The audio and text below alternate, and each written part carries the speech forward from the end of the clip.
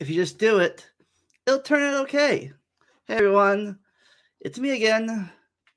Now I was hoping to have an episode of my Dark Naropa up and edited today, but yeah, editing didn't go out for sure well. Hopefully you'll be up Monday. Knock knock on wood. But today gonna be a return of the episode of Food Review. Today I'm reviewing Mountain Dew Gingerbread Snap. See how it tastes. So here goes nothing.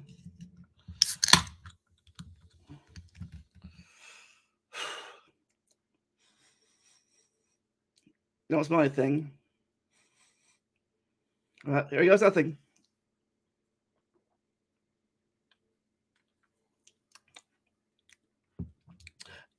Mm, yep. Oh, strong aftertaste.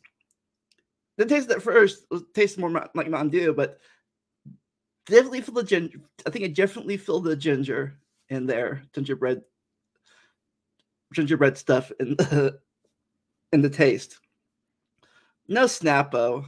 That's the aftertaste. Okay, now I feel definitely feel that definitely definitely feel the aftertaste now of the gingerbread. Oh, that's strong stuff. Mm.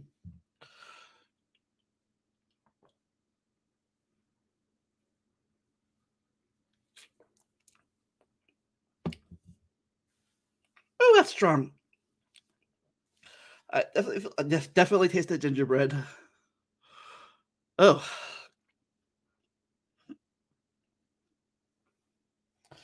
It says it says with a berry with a with a blast of artificial gingerbread flavor. Yep, definitely a blast. Definitely, def, definitely taste it.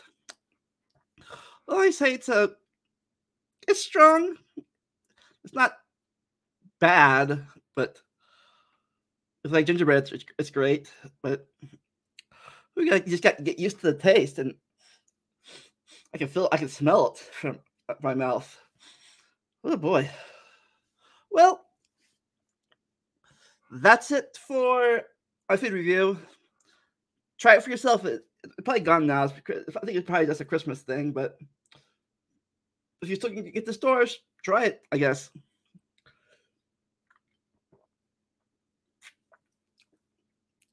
Ooh. Oh boy. All right. Oh, and don't forget my goal for this year hit 2,000 subscribers by the end of the year.